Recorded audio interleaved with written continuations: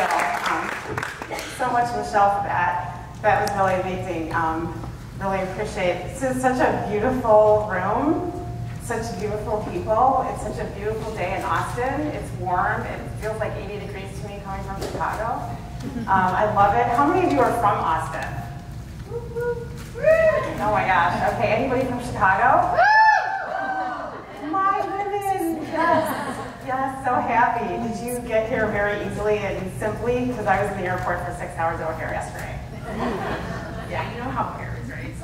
Yeah, no, it wasn't as American.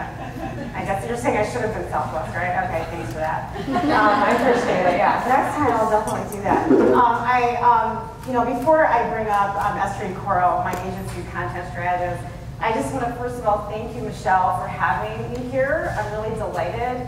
I'm so excited about your company. I'm glad that you're changing the name of your company for a multitude of reasons. I agree, you're scaling, and you're amazing, and you're a woman founder. So please, everyone, please.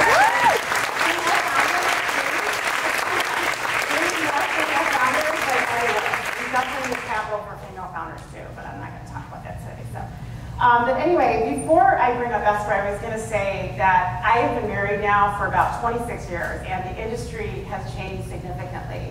Um, what has changed for me is when I was planning my wedding, and I should actually say my mother planned my wedding. It was a whole other world, and it was like, what have I done? What have I done? I just wanted to go to Jamaica, and you know what I mean? But it was a very different situation. I mean, it was really about giving me the budget, what is the date, where is it going to be, and that was pretty much it. It's very different now. You know, we're dealing with people that have personalities, and they want to know who you are. They want to know who they're buying from. They want to know the personality. They want to have a conversation. They want to see what your voice sounds like. They want to see what your face looks like. They want to know what your cultural experience is like. It's very different. And so when you think about that context, it changes the game because that basically means that you have to step up and rise up a little bit and bring yourself out a little bit more intensely than you probably are comfortable with.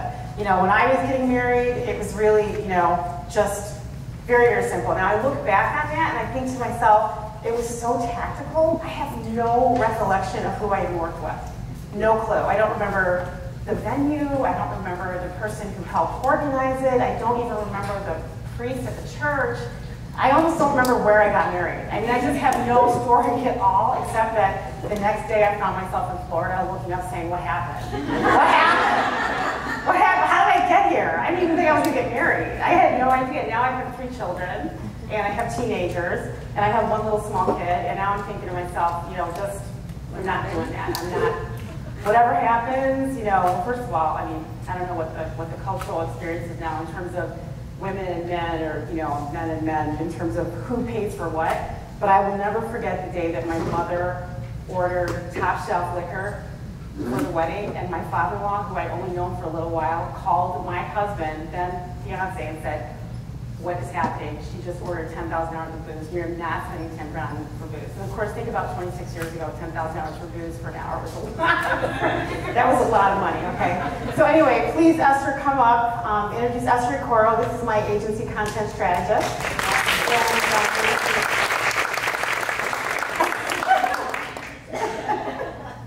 and it's a good thing, yes.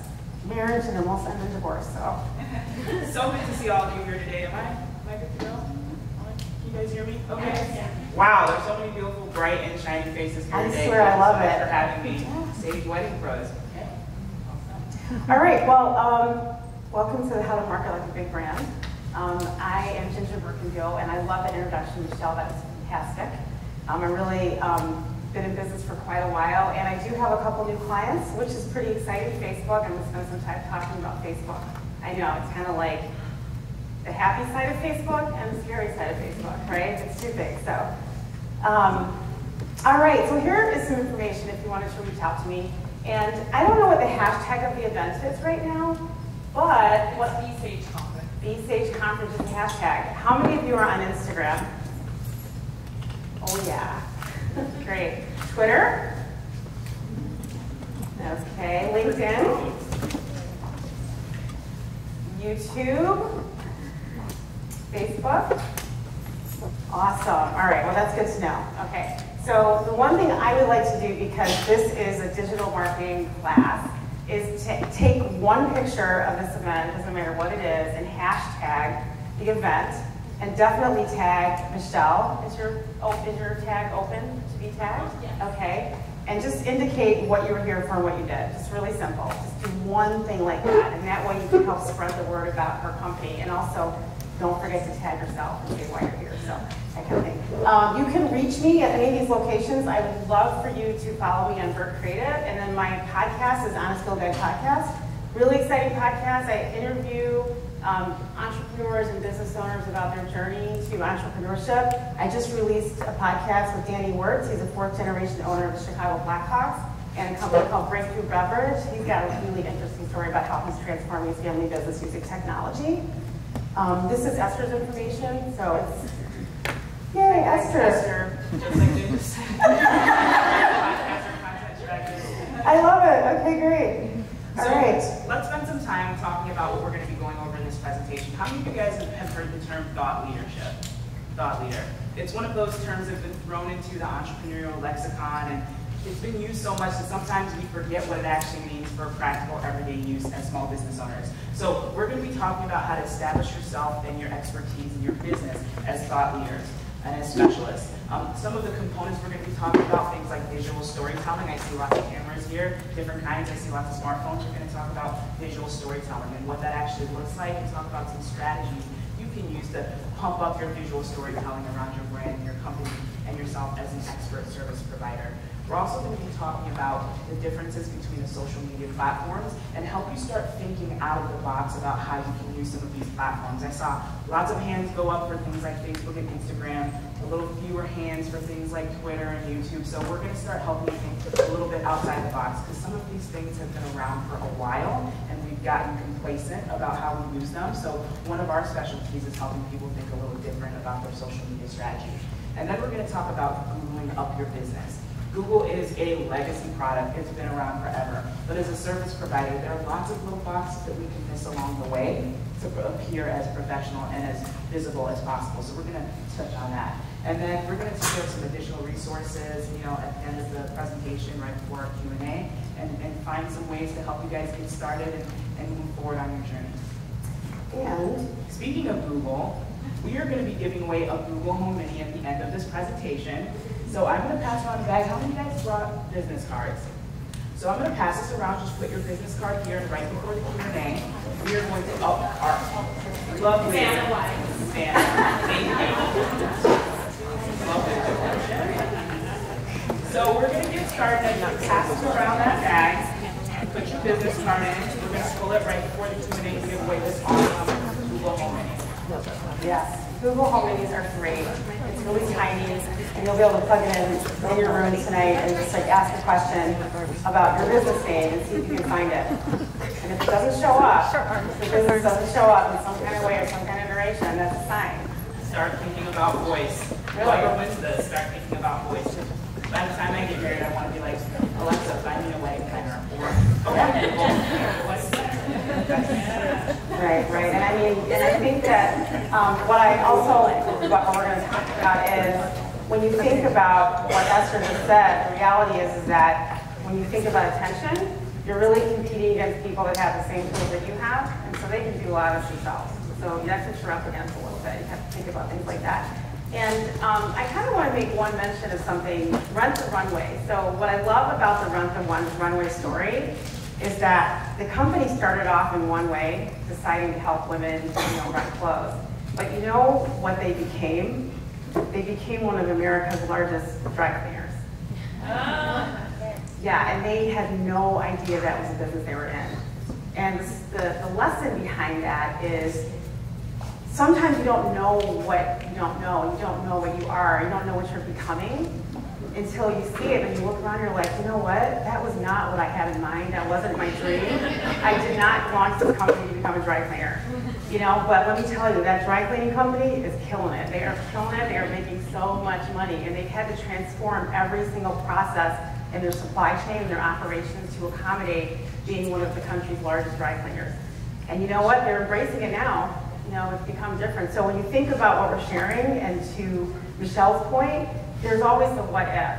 So a lot of the information we're gonna share, maybe you know some of it, maybe you don't. Maybe it's a lot of information, but this is a safe space and we're all here together to try to learn, to make ourselves more viable and more effective as we start to grow our businesses. So just, you know, level set with that. So entrepreneurs now have the power in their hands that no one's ever had the power, ever. You know, there was a time that people only could advertise a newspaper. But now, everyone can advertise. You know, Amazon, General Motors, McDonald's, you know, um, Toyota, they use the same exact tools that we have in our hands right now. So what does that mean? That basically means that you are not just competing against the person next to you because you're really not anymore. You're competing against companies like General Motors and McDonald's that are spending millions of dollars a quarter, multiple millions a quarter across the world to advertise and to gather everyone's attention, including all of yours. And if they're gathering all your attention, how can you stand up above all that so that you can get attention too? So don't think that you're competing against the next wedding planner. You're not. You're trying to figure out how can I be different because the reality is when you're online now, everyone looks the same. Everyone has the same clothes on, the same hairstyle, the same eyebrows. Everyone gets their lips waxed. You know, all the kids have on Nikes, the same shoes, the same jeans, the same glasses, Warby Parker. You know, everybody looks the same. So what is it that's going to make you stand apart? There's a million wedding planners out there. And, and by the way, what do we have in the room? How many wedding planners do we have? Love it. Okay. And how many florists do we have? Oh, beautiful. What about makeup artists? No makeup artists, hairstylists. Retail stores? Do we have any retailers that actually have a storefront? How many people are in product sales? No product? All service. Is everybody service? Okay, well, that's even tougher right online because you're service. You don't have something like a physical thing to say, look at what I got. Touch it, feel it, turn it upside down. Well, we'll talk a little bit about more about that too. Um, Digital and Creative Marketing 101. So think about the full system of being online. So most of you said, yes, I have Instagram and I have Facebook. But online is a lot more than it used to be. A website was all you ever needed back in the old days. And you know, you still need a website today. But now online means all kinds of things. It means advertising. How many of you buy advertising? Where have you bought it? Facebook? Or Google? Or where's the advertising come from? Raise your hands if you bought Facebook ads. Okay, who bought Google ads? A couple? I know you did, Mary from Chicago. Okay, so advertising is vast now. You can buy Google ads, you can buy Facebook ads, but you can also buy ads on Spotify. Spotify has a small business solutions platform now, where you can actually have someone read your business out and record it, and it will run on Spotify. You know, that's really amazing. There's all kinds of places to run advertising. Um, blogging is important. How many of you have a blog and how many of you maintain it at least once a month? I hear that, I know. What? No. Who has got time for that? Okay, blogging is a big deal because you can blog not only on your website. Who has a, first of all, do you have a blog section on your website? Okay, thank goodness. Okay, good. So there's blogging on your website. There's also blogging on uh, LinkedIn. That's a great place to blog and write articles. You can blog on Instagram, believe it or not, there's people that do that. So consider writing a lot of content to make your message stand out. Social media, of course, all different kinds of platforms. I actually think TikTok is really cool. Um, a lot of the young, you know, women are on TikTok doing all kinds of cool things. So having a presence on TikTok is not a bad idea, especially if you're in the wedding business. It's a good thing. You might have to find someone to help you do it, right? Think about that. I mean, really, website's critical because your website is your repository of all the data and information for your company. So if your website doesn't have robust content and if it isn't backed up by SEO, you may not show up on search. And people are doing a lot of searching with voice. My children do not type anything on Google. They ask questions. That's all they do. So consider the future of your business and consider your audience. How are your audience, how is your audience getting to you? You know, where are they? Are they asking questions or are they typing? What are they doing? Think about that. That's important to know. And then a, um, Esther is my content strategist. So I've been writing content all my life. I'm a writer. However, the way that the world is happening and things are changing so quickly and the level of lift that I have to bring, you know, I decided I've got to scale up my business and I actually have to bring someone on to help. And so Esther is managing a significant amount of content for the agency as well as I am too. So consider that the basis of all of what we're going to talk about is creating custom content. How do you create custom content for your business that goes beyond placing an ad saying, come here, buy, it, buy this, click this, and click that? What do you need to do to develop an extraordinary amount of content? It's easy to stay in the business. It's harder to get out of the business and think of it a little bit higher level. You know, doing all kinds of tactical stuff, that's what we do every day. And that gets us distracted. Very high level, these things always work for business. So having a beautiful website is great. But having a machine underneath the website that runs effectively with things like search engine optimization is more important than a beautiful website. And there's a great platform called Yoast. Does anybody use Yoast? Okay, Yoast Premium is way better than Yoast Free. So that's something to mention. So I'm glad somebody loves Yoast. I love Yoast too. Yoast is Y-O-A-S-T dot com. And there's a free uh, platform you can install on your website, or you can also get the premium, which helps you work a little bit better. but you've got to have powerful SEO on your website. It does work. Google would not be a trillion dollar company if it weren't for search engine optimization a la Google Analytics. It actually does work.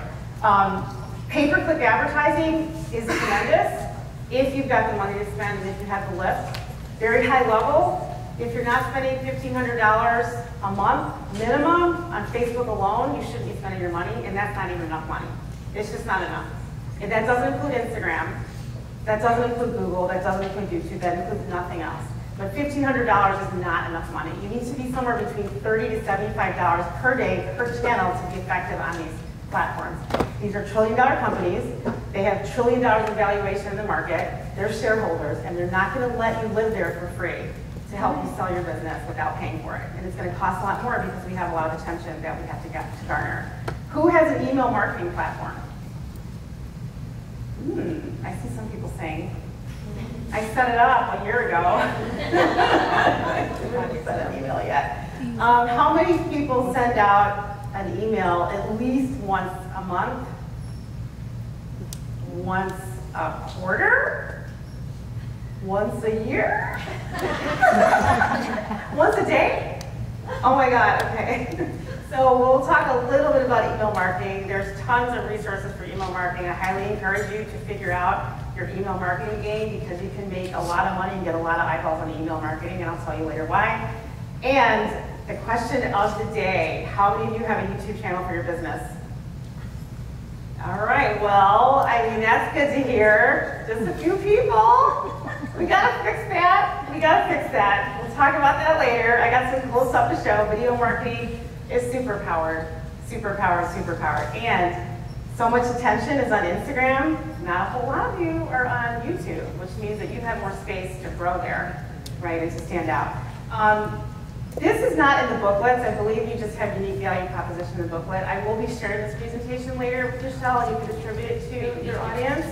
Um, but a simple digital marketing plan is required on digital marketing. I mean, this is a very simple plan. This isn't a complicated one. If you think about what Target does, Target has 50,000 of these things, but you have to strategize and plot out your journey in order to get the results on digital marketing.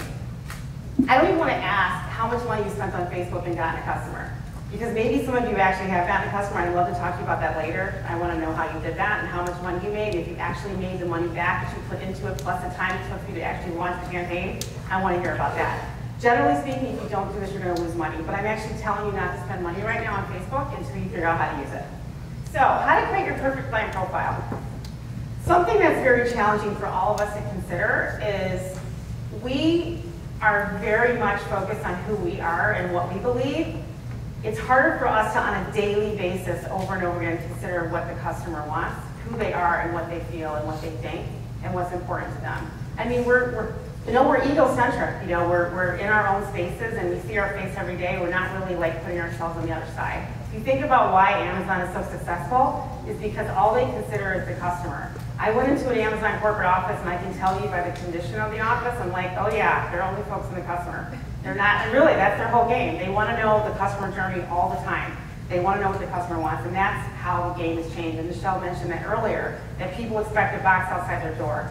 They know what we want, and they give it to us every day. So you've got to consider things like, what is the big problem we're trying to resolve? What is the one thing they want? And consider your own journey when you're trying to find out what to buy, or what you're trying to create or what you want any moment, what is your journey to get to that space? That's what we're trying to think about when you're coming up with a digital marketing plan. Um, what exactly are the results? What does your company bring to their lives? You know, what makes them tick? What makes them happy? What makes them passionate? What makes them feel good? What is it that they want? Think about what they want all of the time. Walk through your day thinking about what your customer wants all day. I know we're here today to learn, but I'm just saying, like, start thinking about what your customer wants. Think about what their habits look like. I just downloaded a great, a great um, thing called from a company called Column Five, and it's a brand strategy assessment. And, I, and if I remember the, the name of the thing to download, I'll, I'll send it to Michelle. But there's a section there which actually helps you break out each of your customers in a spreadsheet and you can indicate, you know, here's my customer and here's what they want and here's how they live and this is what they think. And it really does help map up the customer. And the reason that I say these are really valuable is that if you can map up the customer, then you can map up stories to sell to that customer and to communicate with that customer, right? And that's really helpful to understand. It's, it's, it's critical to know who you are selling to because think about the customers right now that you're making money from whoever they are, there's 10 more, 20 more, 100 more, 1,000 more of that same person. That's a profile. What is your most successful relationship? It took me years to figure this out. Now I understand very clearly who my customer is, and I'm very discerning about who I take into my company now. Because I know that I can not only be successful for my company, but I can be successful for the customer. I mean, I know it's sometimes hard to turn down money, and I've done it, but I know, you, I know it's, it's not hard for you. Can you teach me to do better? It's not worth it sometimes. I know it's not. You're right, it's not. It's true, it's true. So think about things like that. Break up into buckets, and I'll share the link later, but break it up into buckets, each of your customers, so you can come up with what their journey is. This is a great way to think about what customers want. This is something that you can create a website around, you can create video content around, you can create blog posts around. Think about what you're an expert at and figure out how to fit content into these different buckets, and then you'll have all kinds of stories to tell around this. This is important. You know, think about yourself. You know, when you're looking for a pair of shoes, how do you find that pair of shoes? First of all, you have an intent. You're like, I need a pair, a new pair of shoes. And so understanding what the intent is is important. And then being there where your customer is when they have the intent is very important as well. How do you get to where they're going to be? Well, you pretty much have to be everywhere. This is not an automation uh, presentation. I'm not going to really be able to talk too much about how to automate some processes, but some of this stuff is going to have to be automated. You're going to have to invest in how to make things easier for you so that you're making money while you sleep and you're not working all the time. So what makes you unique? There's some basics on creating your USP. This is in the booklet. There's a worksheet. Page 21 to 23. Okay, awesome. So this is really helpful. Um, take a look at things that make you different. So remember earlier I said we all have the same shoes and the same jeans and the same hair and the same makeup?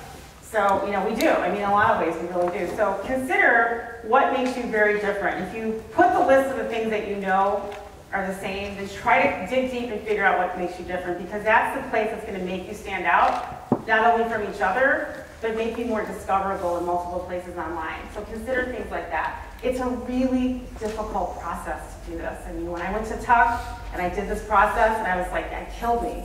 I was like, oh my God, I have no idea what makes me different. I don't know. I don't know why I'm different. And I know why I'm different, but it's hard to articulate it and to really be authentic with yourself about what makes you special. Because you do need some level of confidence to make sure that you say to yourself, I am amazing, I am great, I am remarkable, I am special, I deserve this, I know what I'm doing, I'm an expert, I'm powerful, I know this, I know that, I know this, I know that, way more than anybody else. That's what makes you different. You gotta dig into a very deep place to get that, especially when you're a woman, because we have a lot of barriers to our confidence and our ability to sell ourselves. It happens all the time. It's a really difficult thing for us. So setting smart goals for your business. Goals, we all have them. I'm sure everybody in this room is particularly familiar with vision boards, right? I mean, this is like, I'm telling you, when I got married, we did not have vision boards, but I sure wish we did, because I would have told my mother, I'm getting married in Jamaica, we are not having 300 people sweating, and I'm not going to pay $1,000 for this dress. But you know, it was out of my hands. It's out of my hands. Um, but when you think about goals for business, think very deeply about what your goals are for the business, not for yourself. And you have to have this because you have to know where you are, especially when it comes to digital marketing, because when you go on Instagram, you'll be looking around like, oh my God, I've been on this for like two hours now. What happened?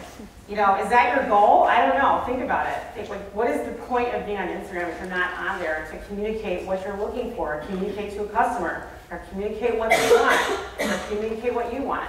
Why are you wasting time? You have to have a reason, otherwise get off quickly. Otherwise you'll start losing money, and it's gonna go by really, really fast. So specific, it's gotta have a specific number, your goal, a specific number attached to it. It needs to be measurable. You have to be able to measure the progress of your goal. Like, where are you in that journey?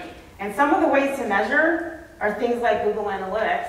Other ways to measure are having spreadsheets which indicate what you're looking to do, when you're looking to do it, how fast it's going to take, and how much money you can spend. Things like that. And just, you know, even do it really simply. Just come up with one goal, one simple goal, and then work on that one goal, just so you can kind of get started in this whole process, right? It takes some time. You have to make sure it's achievable. Can you actually make this happen? Do I need to hire five people to do this? This goal is not going to work for me right now because I don't have the budget to bring five people into my company, right? I mean, think about things like that. Is my goal to go to Europe? How much money do you have to get there to like go to like a huge conference in Europe? Can you make it? What do you have to backtrack to make the money to get there? It needs to be relevant. It's got to support your vision of success. Obviously, it's got to be what does it look like? And again, keep in mind, we're evolving now. Technology is making things happen much more quickly. Rent the one runway, dry cleaner. you know, who knew? Um, and it needs to be tangible. It's got to result in some benefits to your company. This has to be put in place before you start digital marketing. You've got to make this happen. Otherwise, it's a total, complete cesspool of despair on digital marketing. I mean, I know it sounded kind of negative, right? A cesspool of despair. oh my God, a cesspool of despair, as it kind of could be. Um, so, examples of SMART goals. Um, take a look at some of these goals. I made them up. Um, how many of you have revenue goals for the next quarter? Who knows how to get to that revenue goal as far as digital marketing is concerned? Does anybody have like ideas? Has anybody thought about this? Thought about it? Okay. Let's start. Okay. Okay. How to put all the pieces together, okay, okay. Well, it's good to know this is, again, a safe space, and this takes a lot of time, it takes a lot of energy. There's a reason why, you know, these, these marketing companies make so much money because they help people do this kind of work. So think about some of these as potential goals. Some of these goals can actually be tracked on Google Analytics, and maybe start small. Say to yourself, I want 500 people to come to my website by the end of the quarter. Well, what are you going to do to make that happen? How are you going to get 500 people to your website? How are you going to do that? One thing you'll have to do is very simply, every single piece of content you put out, ask people to go visit your website and check out a link. And that way you can track it in Google Analytics. You've met your goal. I got 500 people on my website. And then you get encouraged and say, oh, so that's how that works. I get it now. That's the kind of thing that has to happen. It's got, goals have to be defined. They always have to be defined in order to decide if you're being effective or not. So if I say that I need to get 25 new people to sign up to my newsletter, by the end of the month, I have to figure out what is the journey for me to make that happen. So I have a sign up form on every single one of my social media profiles. I have a sign up on the first, on all the pages of my website. I have a sign up on my LinkedIn tree as one of the second options to choose. Are you familiar with LinkedIn tree? Anybody? Okay. So LinkedIn tree, um, somebody might have to look it up for me online on their phone right now, but LinkedIn tree is I think L-I-N-K dot tree something like that. But what it is, is it allows you to have all of your touch points for your business on a single link, which someone clicks it, and then they'll see all the different buckets that they can click to get to different things. Does that sound about right what I'm describing? Okay. Linktree, thank you. What did I say, LinkedIn tree? I love LinkedIn. I love it. Okay, Linktree. So it's linktr.ee. Okay, thank you. Um, highly recommend using that because you can keep everything in one place. Social media doesn't give you a lot of characters, so you can't put all of your profiles in place. Um, think about things like that. A really powerful tool. Um, let's talk a little bit about your website. So how many of you have updated your website within the last six months of the year? Oh, beautiful. That's amazing. That's great. Why, somebody offer, why did you update your website? Or what was the reason? Anyone? We wanted to, um, again, stand out uh, Mhm. in a saturated pool of wedding planners, and our focus is we're huge animal lovers, my entire team. So we did a full headshot revamp with our animals. Oh my gosh, that's wonderful. Chickens and dogs.